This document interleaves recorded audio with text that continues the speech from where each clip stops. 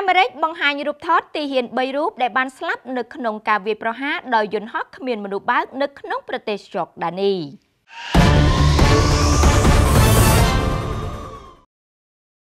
កាលពីថ្ងៃច័ន្ទទី29ខែមករាម្សិលមិញនេះយោធាអាមេរិកបានចេញផ្សាយរូបថតនៃសមាជិកសេវាកម្មអាមេរិក3រូបដែលត្រូវបានសម្លាប់នៅក្នុងការវាយប្រហារដោយយន្តហោះគ្មានមនុស្សបើកលើមូលដ្ឋានទ័ពអាមេរិកក្នុងប្រទេសយ៉កដានី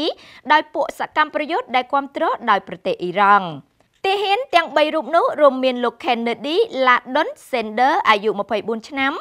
លោក Brianna Alexandria Moffett អាយុ23ឆ្នាំ និងលោក William Jerome River វ័យ46ឆ្នាំ គួរបញ្ជាក់ផងដែរថាការវាយប្រហារកាលពីថ្ងៃអាទិត្យទី28ខែមករាក៏បានធ្វើឲ្យទាហានអាមេរិករាប់សិបនាក់ផ្សេងទៀតរងរបួសដែលនេះជាការវាយប្រហារដ៏សាហាវលើកដំបូងប្រឆាំងនឹងទាហានអាមេរិកចាប់តាំងពីសង្គ្រាមរវាងអ៊ីស្រាអែលនិងក្រុមហាម៉ាស់ផ្ទុះឡើងបំផ្ទុះគ្រាប់បែកសម្រាប់មនុស្ស7នាក់នៅក្នុងប្រទេសនីសេរីយ៉ា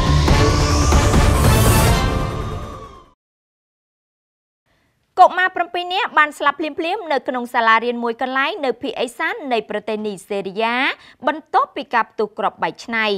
កុមារចំនួន6នាក់ដែលមានអាយុចន្លោះពី7ទៅ11ឆ្នាំបានរើសគ្រឿងផ្ទុះរួមជាមួយនឹងគ្រឿងដែកអេតចាយមួយចំនួននិងរក្សាទុកនៅក្នុងអគារសាលាអ៊ីស្លាមមួយកន្លែងនៅក្នុងតំបន់គូប៊ីអូ